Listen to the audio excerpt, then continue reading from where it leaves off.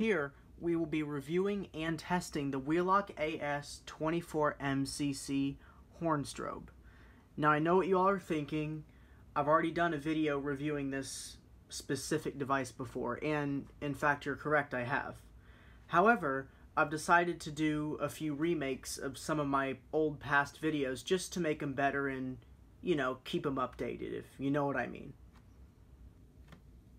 For the first part of this review, I'm going to review the outside of the device. So, here's the device, obviously. You have your strobe, you have the part where um, the sound comes out, um, you have the fire lettering on either side of the device, and if I flip it over on the back, and I take the, the um, mounting plate off, or whatever you call that thing, you have your model number, you have um, it here it will state um, what exactly the device is, what it's for, audible signal appliance for fire alarm service with signaling appliance for the hearing impaired.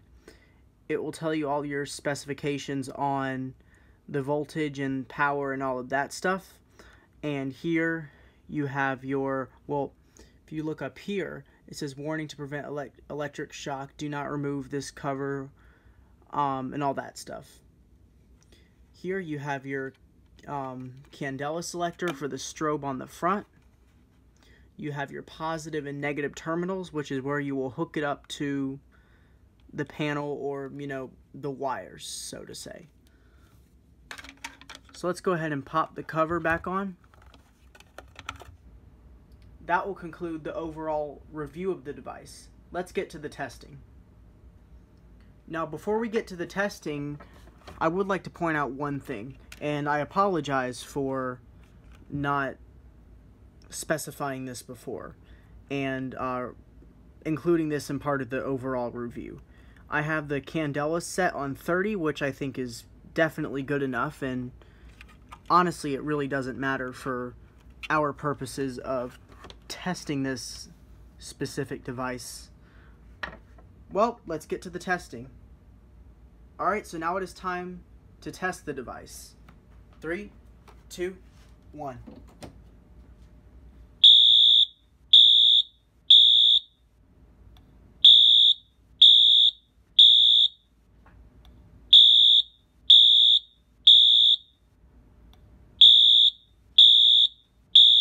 Now for some lights off.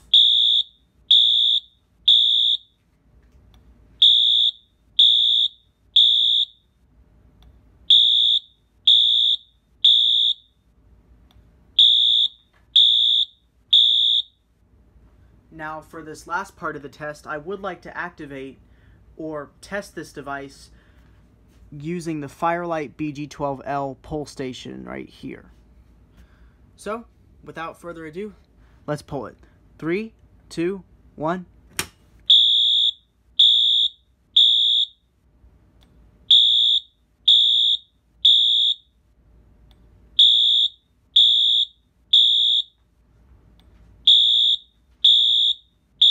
Now for some lights off.